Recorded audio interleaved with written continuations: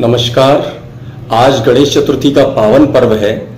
दस दिवसीय गणेश महोत्सव का शुभ मुहूर्त। भाद्रपद मास के शुक्ल पक्ष की चतुर्थी तिथि, यानी 30 अगस्त दोपहर से शुरू होकर आज 31 अगस्त दोपहर तीन बजकर तीस मिनट पर समाप्त हो जाएगी।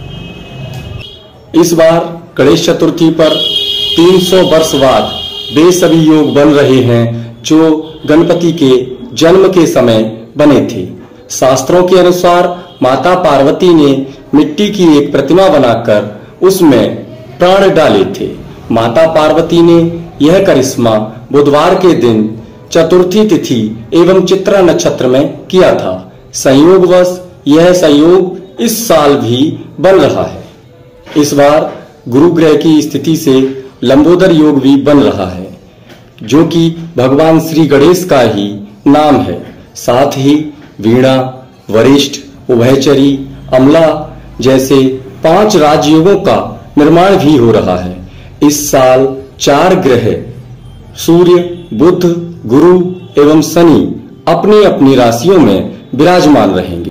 गणेश चतुर्थी पर यह संयोग 300 वर्षों बाद बना है, इसलिए यह गणेश उत्सव और भी खास हो गया है।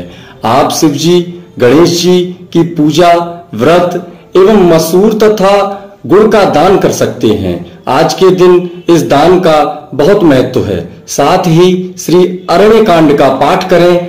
आप सभी को गणपति की विशेष कृपा प्राप्त होगी।